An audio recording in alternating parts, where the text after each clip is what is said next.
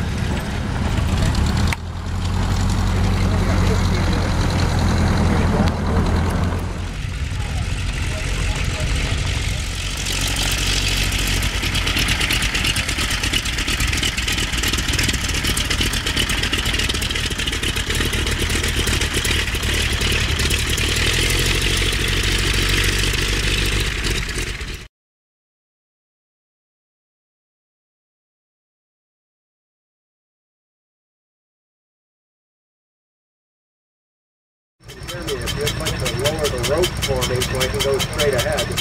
All right, Warren's gonna go up there. I'll give him a moment to get ahead of me. Should mention again.